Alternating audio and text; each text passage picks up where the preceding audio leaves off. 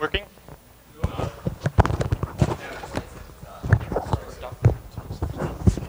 How about now? Yeah. Great. Yeah, so um, I'm here to talk today about how we've spent the last year or so building a brand new compiler inside of our OpenGL libraries. Um, this comes as a bit of a surprise to a lot of people. They didn't know that OpenGL actually involved compiling. Uh, but it's actually most of what we do these days. So GLSL is this C-like language. Um, you're, for 3D modeling, you have a collection of vertex data and a bunch of operations you want to do on it to you know, translate it into space and rotate the arm of the model and all of this sort of stuff. Um, so you want to do a bunch of operations on vectors. Um, these operations on vectors you want to have programmable depending on what your application actually wants to do. You don't want to have some sort of fixed thing that says you can only translate and scale and rotate.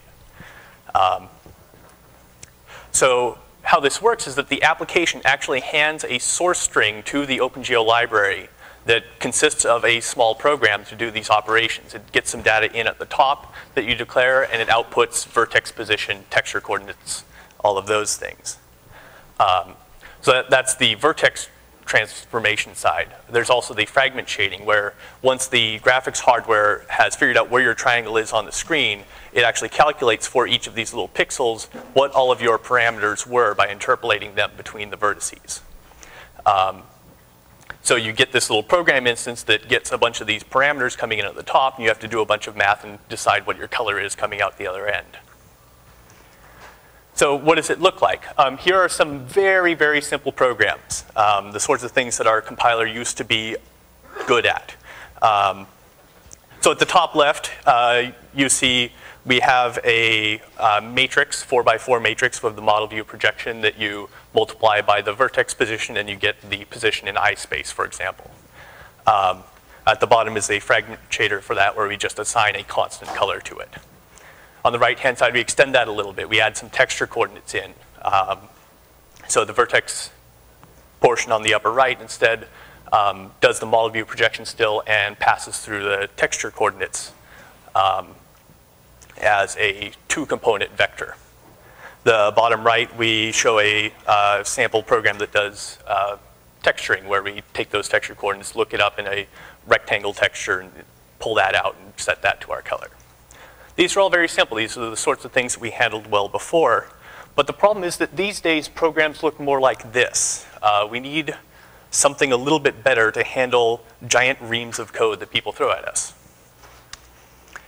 Um, before, we had a compiler that looked at your code, made a syntax tree, and dumped it right into the existing uh, intermediate representation that the drivers consumed. Uh, but it turns out that now we need actual optimization, and it's hard to do in that form. The good news is that a lot of compiler stuff is easy for us. Um, compiler techniques are extremely well known. When we started this project, the first thing we did was we went and bought some textbooks. Uh, also, Lex and Yacc handle a lot of the really irritating parts. Uh, we're very glad to have those. Another thing working in our favor is that these programs, even that you know nasty looking program there, they're really short. Um, so we can throw almost arbitrary amounts of CPU effort at optimizing these programs and nobody's going to notice. Um, the language has no idea of memory. There's no pointers that point at anything. We don't have to worry about aliasing. There's just these vector data types. There are some downsides though. Um, GPUs don't really look like CPUs. Um, we always work on vectors, pretty much. You know, there are floats in the language, but generally on most GPUs, those floats are in a VEC4 register. Um, we have write masks on these registers, so you can update just one component of your register, which makes a lot of optimization hard. Um, also, GPUs don't have general flow control. So write masks are one of the big things that um, make GPU optimization different from the way that you do compilers for CPUs. Um, in all of these optimization passes, you want to know where did the value that I'm looking at come from? So you want to you know, look up in the program and see where was it defined. Well, and, and that's easy for scalars. You look at the last thing that wrote to it. For a vector, though, where you can update one component, such as this shader right here, what does that mean? You know, I have um, a color that came from a texture, and then I updated the red, green, and blue with um, a mixture of some gray color because I wanted to desaturate. This shader actually came from GNOME Shell. Um, and then I set my result to that. So if I wanted to copy propagation into my result, where did the color come from? Was it the first instruction, the second instruction, or both? And it turns out that there's actually two different answers depending on how your GPU is built. Um, the way that many GPUs are is called array of structures, AOS mode. And this is where those VEC4s are packed into your registers approximately like you would think, where you have XYZW and you put it in a register. Um, and that has that uh, data dependency issue that I just mentioned where a, a portion of that register got updated in one instruction and the other portion came from the definition before that. There's also a structure of arrays mode where instead of packing all of your VEC4s in one register, you instead have four separate registers for each, and one for each component. And then your register con contains multiple program flows in each of its channels. This is really nice for those, um, those channel updates just before. Now each channel update is one instruction and all of your data dependencies are easy. It's look at what updated my X channel, look at what updated my Y channel. And yes, there is quite a mix. Of the graphics drivers we have, um, the 965 changed to doing SOA instead of AOS. Uh, NVIDIA recently, as of the generation before the current one, changed to SOA for both vertex and fragment processing. So our compiler needs to be able to do everything both ways. Other joys of working with GPUs, they don't have flow control. You can't jump. Or rather, you can jump, but it's going to break your program because when you have everything packed so that eight different program flows are running in my register, what happens when half of them decide to jump and half of them decide not to? Uh, it's not going to work. So as of about six years ago, there was no flow control at all. No, no jumps, no ifs, no loops, nothing. You got a straight through execution from top to bottom of your program. Unfortunately, GLSL requires ifs and loops because that's actually how people want to program. So GPUs now can do that. They can do if statements where half of your fragments take one path and only update those components for one half, and then you hit else, and then you switch to updating the other half of your register for the other uh, execution path. You still don't get jumps. So on older hardware, such as the 915 that we were trying to support, this meant we didn't have flow control at all. So the way we ended up handling this is that we take all of the if block and say, do a conditional move of the body of the if block um, depending on the uh, if condition. So every instruction gets executed for all your fragments. Array access. Another thing that GLSL added that, we're, that GPUs are pretty bad at. Um, I said that we don't have memory and pointers um, but we can declare a temporary that has a size and you can do array access on it. A lot of GPUs simply don't do this. The 915 doesn't, uh, R200 doesn't do that, I don't think. Um, and yet we have to support this. So we used a little trick, again using conditional moves, where you look at the array index that was chosen and for each element of the array, if the array index is equal to that, do the store.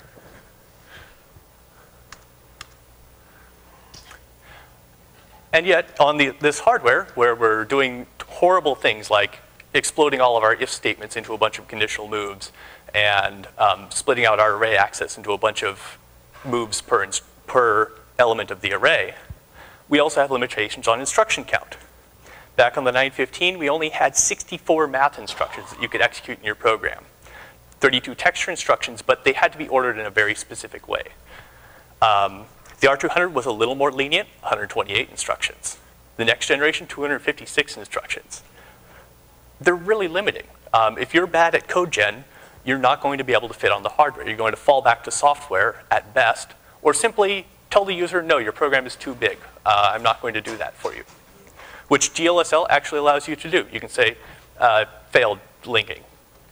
Unacceptable program. Try with something simpler. And on these instruction-limited uh, pieces of hardware, registers are also quite limited. We had on 915 16 temporary VEC4 registers. That's all the data you could work on at all. There's no memory access like I mentioned, so I can't spill registers. If I don't fit in 16 VEC4s, I have to tell the user, no, I can't execute your program. Um, on Radeon, you know, things were getting a little better. And even on the 965, where we have 128 registers, each of which is eight floats, uh, we still have a lot of issues with register allocation because with 128 floats, almost all programs fit into that. So they didn't spend a whole lot of time on making the memory access path really fast. So if you ever do spill registers, for example, we had a bug that we hit in Lightsmark where an optimization led to register spilling. Um, one shader out of 10 or so that are in use reduced overall performance 50% by register spilling. So register allocation is quite important to us. There are a few things that are easier after all of this complaining about how GPUs are awful. Um, OpenGL has very lax suggestions about how math should work. Uh, uh, the, the actual text is approximately one part in 10 to the fifth. Um, please. so we can do almost arbitrary things to your math, um, which is quite nice because often people will do things, you know, ask for 1 over 1 over x, and we just say, well, um, take the x variable. Uh, things where you multiply by a constant, do a bunch of multiplies by variables, and multiply by another constant. I can look at that and say, well, I'll just take your constant over here and move it over here in my expression tree and just constant fold them. Um, and uh, hard math things like the sine instruction, the sine uh, function, we'll just approximate those with a small polynomial and it'll take four instructions instead of 60. Um, so we went and did all this. Uh, Mesa 7.9 released in the fall gave us uh, GLSL support on 915, which had all these limitations. You know, it can't do flow control, so we had to lower all of our loops and lower all of our if statements. Um, it has limited register space. It has no ability to do array access. And it actually does these things now. Um, so a whole class of applications can run on this hardware that wasn't able to before. In Mesa 7.10, we added native code generation for the 965.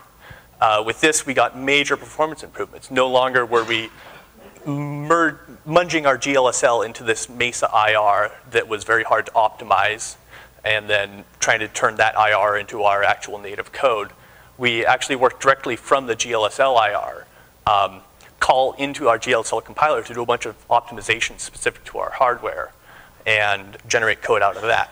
Um, Nexuiz, an open source first person shooter game that I've never actually played. Uh, I just run the demo all the time. Um, got 20% faster overall from all of this work. So, you know, I think this is showing the results that we can really speed up OpenGL with the new compiler work. Uh, from looking at a lot of programs with the new compiler output, we're getting pretty good looking assembly out the other end, which used to never be the case. Um, I'm hitting the point where I look at programs and I can't see a way to improve them, obviously. Uh, we still have work to do on some programs. I was looking at some wine applications the other day and realizing that I had never finished writing an optimization path for the mid-level IR that I thought I had done.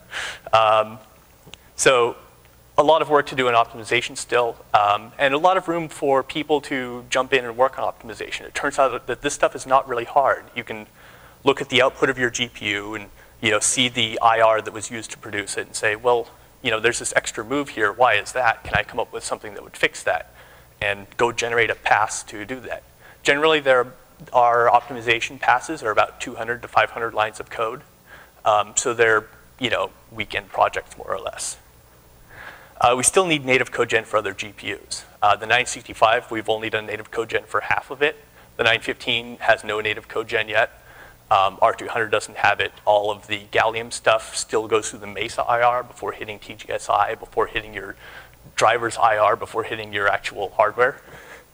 Um, so there's a lot of room for cutting a bunch of stuff out of our stack if we uh, do a bit of work on our other drivers. Um, and we still need native code gen for the CPU.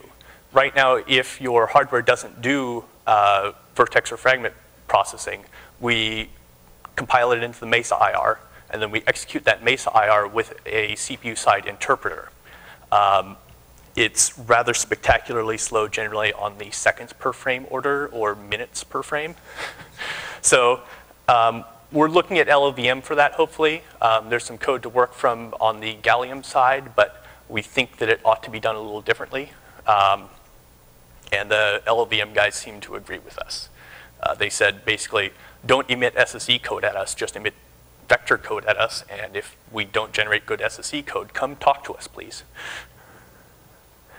Um, I think that's about it. Uh, any questions? We have a lot of time for questions, so hopefully there's a lot of them. Um, sorry, I'm, I'm kind of new to shader languages. How much of this applies to GLES2?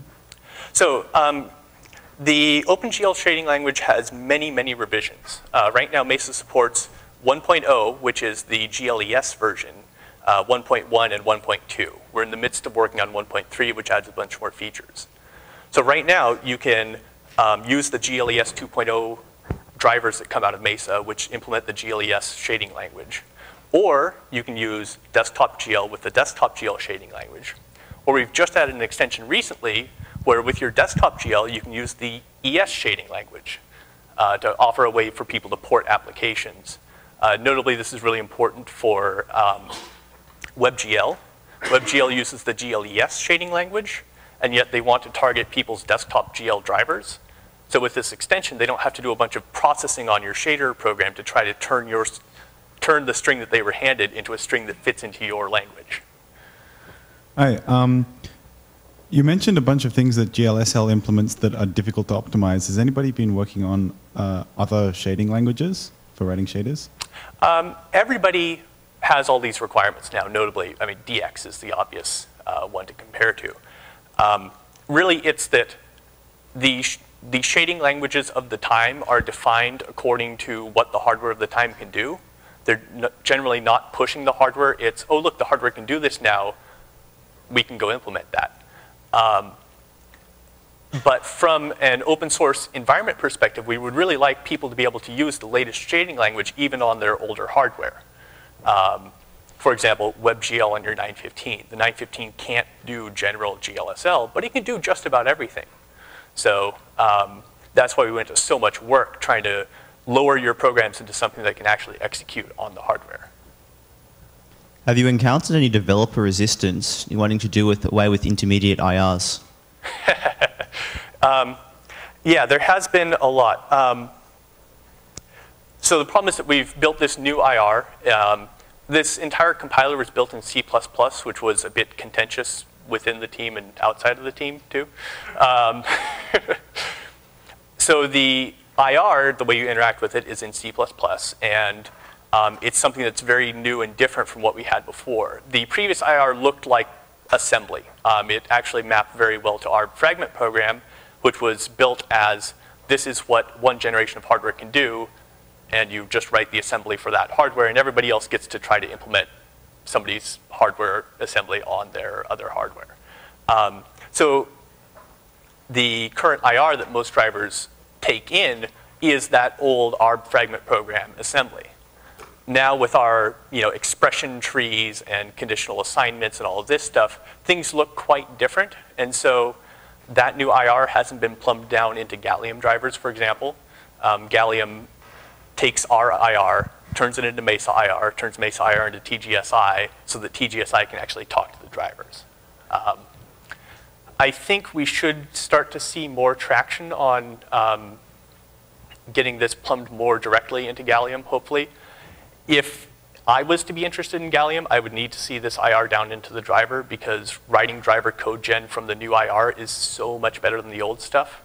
Um, notably, it has things like types, which the previous IR only had floating point vectors, which you tried to store your integer value in. Um, so there's a lot of things that are better now, and we would need to get that plumbed in for that to be interesting. So you said that shader languages are somewhat an artifact of the GPUs of the time. Are you trying to make this implementation likely to scale as new features hit hardware? So right now we're still playing catch up. We're on GLSL 1.20. GLSL 1.30 was released years ago. The current version is 4.10. So there have been, you know, four minor versions or more that we need to catch up with. So, you know, we can look ahead and see where things are going, and we're trying to architect it so that things won't be too hard. Um, but yeah, we don't really know that much of what's in the future. We haven't implemented what we need to do today yet. More questions?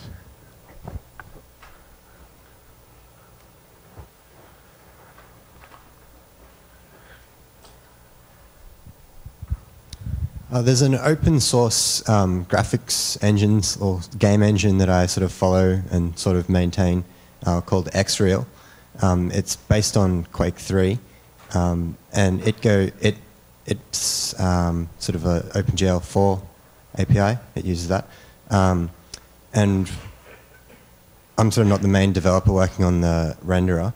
Um, that he's a guy from Germany, but he he found that he got a, a, massive speed up when he um, wrote some extra code to um, parse the GLSL shaders and sort of break them up into multiple shaders. So um, where you have like the if statements in the code, um, instead of leaving it to the um, driver to optimize that, um, he'd break it up into two different shaders, one to sort of handle either side of the path, and yeah, that got a massive speed up on um, ATI in particular. So is, is that sort of a technique you've looked at? Um, yeah, that is actually something that's been the case before. Uh, my demo that I've used for a bunch of benchmarking, I actually had a hack in there um, to remove my if statement that was designed to skip a whole bunch of code if you were entirely in shadow and not lit at all. Um, massive performance improvements originally from disabling my if statement. Now with the new compiler, disabling the if statement doesn't help anymore uh, because we actually have good code gen at the back end that doesn't throw its hands in the air when it sees, sees an if block. Um, that's what we did before. It's like, oh no, a new basic block. Uh, I can't handle those in my optimization. Oh well. Um, so things are much better these days. Um, hopefully that has changed. Um, it would be nice to get some of those. We, we have a big problem in testing the compiler that we don't actually want to run every game in the world for every change. Um, and when you actually run every game in the world, you have to watch the entire screen to see if some pixels are flickering over here. Um, it would be nice if we could to get some of those shaders, like out of Xreal, into our test suite. Um, because then, in addition to regression testing, we can actually run the shaders, look at the output, try to improve the performance of them, and see if they still render the same thing. Um, so I would love to talk about how to get that into uh, the Piglit test suite if possible. Sorry, back to intermediate representations. If you're only looking for a half-day project rather than a weekend project for all those Gallium drivers, do you think it'd be any point in trying to cut out just the one shader step, say cut out using MESA IR and keep in TGSI? Would that just be a waste of effort later on? Um, I'm, I'm not sure. Um, part of my avoidance of the gallium stuff is that if I wanted to change that intermediate representation that all the drivers accept, um, I don't know how that impacts all of the closed source products that are built on top of gallium. Um, and I just don't want to deal with that because I don't have any drivers in gallium. But yes, the, I think there could be big wins from, uh, for the gallium drivers from switching from generating GLSL IR to MESA IR to TGSI to going from GLSL IR directly to TGSI. Um, notably, as far as I know, TGSI has um, sizes on its variables, which means that array access doesn't necessarily break all of your optimization um, on your registers. Your the, these intermediate representations, the MESA IR and the TGSI, generally operate on a sort of virtual machines register space. Um, so they don't reflect your actual hardware. They're something else that you interpret. Um, by having sizes on those uh, temporary variables, you know when you have an, array access that you're only accessing those, and you can still do copy propagation and dead code elimination on the other instructions that don't access those variables. Um, so yes, I think that could be a big win for CodeGen on Gallium.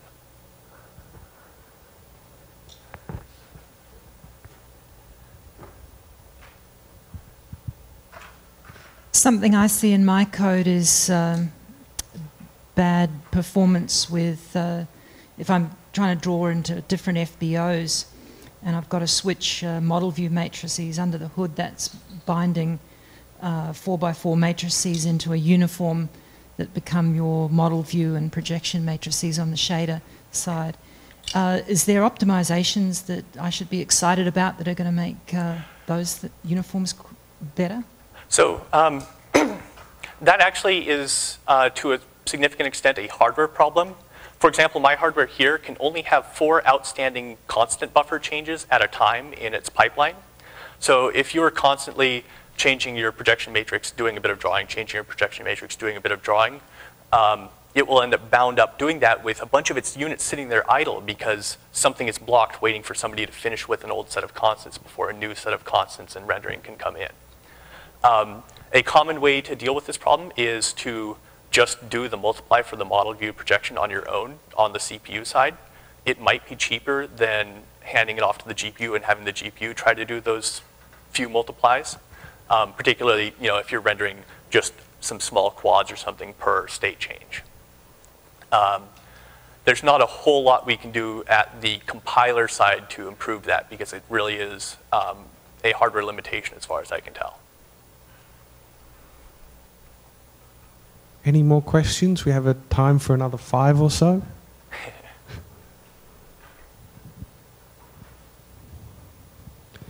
the next talk is not till 11.30. Oh, one more in the back. so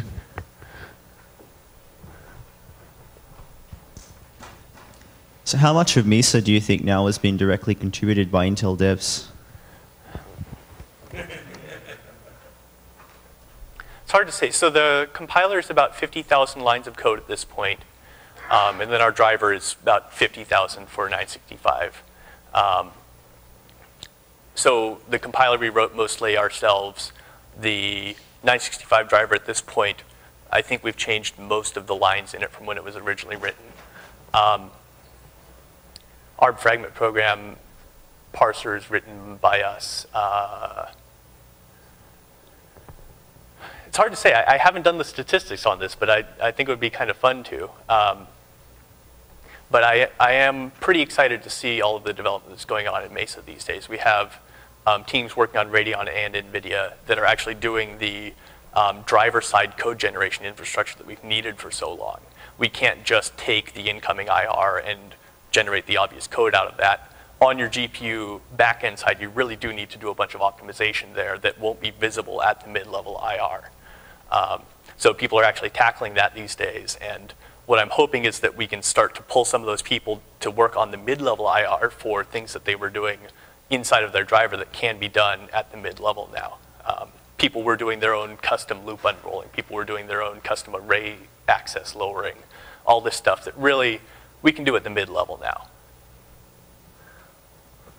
Um, oh. Intel's got some new graphics hardware coming out with the new Sandy Bridge platform. Like, is this going to support that as well? Like, are you sort of being able to keep up with the new graphics hardware as it's coming out? Yeah. Um, so we actually were building the Sandy Bridge support in Mesa um, as we were building this compiler. The two projects were working in parallel, all in the open.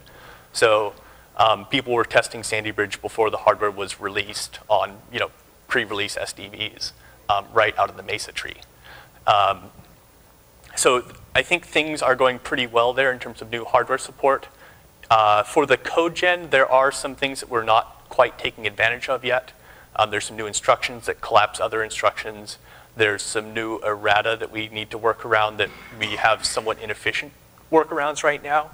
Um, there's always errata in GPU hardware. All of it, you know, there's always a huge list of things you need to do to make it actually render correctly. Um, and we just need to polish some of the new stuff. Do you have any issues when fixing bugs that result in a change in visual rendering where you get complaints because now you're rendering correctly? Uh, I don't think I've seen that one yet. Um, mostly it's, you know, implement some new optimization that speeds up a bunch of programs by 5% or so, and oh, now uh, the latest example was Civilization 4 started rendering wrong again. It's like, oh no.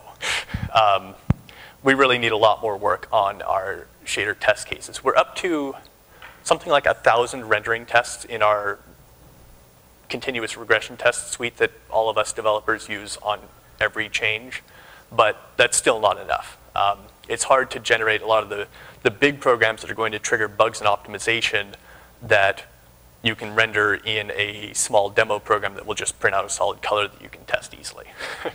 um, coming up with those is really painful. So um, that's something we definitely need to work on.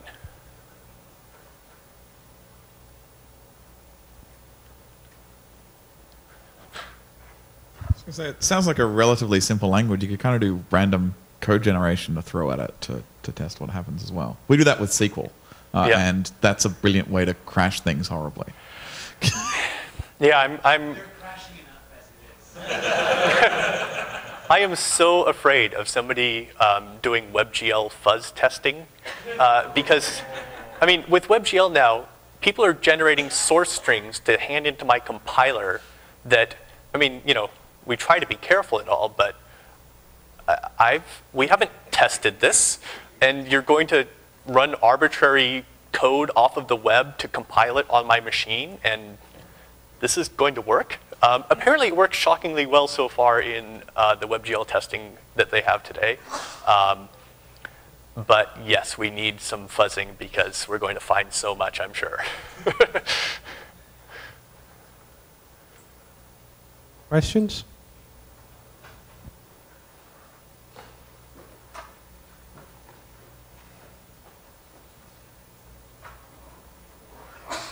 So you still say you need to do native code gen for the CPU. Um, with the Larrabee project, I guess that came and sort of went as not quite ready. Has any work been done with that? Because I mean, they're pretty much general purpose CPUs.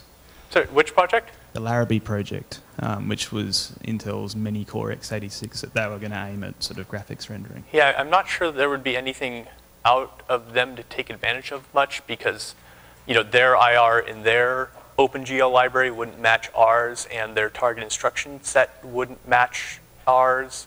Um, uh, that said, somebody just joined our team from the Larrabee project, uh, so it's fun to talk to them about some of the similar problems they've faced to what we face um, in terms of things like when you go to access a texture, you're not going to get results for a very, very long time. You need to work on scheduling all of your instructions into that enormous delay slot you've got. Um, so we've done some of that work recently.